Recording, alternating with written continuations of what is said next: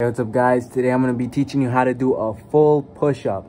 Now, even though they might be hard for some people, you just got to keep practicing. Don't worry, you'll get it one day. All right, let me show you how. All right, first you're going to want to keep your hands apart.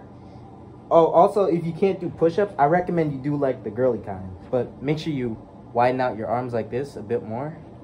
And, hold up. Just make sure your butt's straight. and then Wait, is it? Yeah, like that. Make sure you do those. Alright, I'll show you a real push-up. Alright, make sure you keep your hands together. Make sure your butt is straight in the air. And fully make sure your stomach touches the ground. And goes back up. Let me show you one more time. Hold up. See? Just gotta keep practicing. Don't worry, I know you'll get it. Peace out.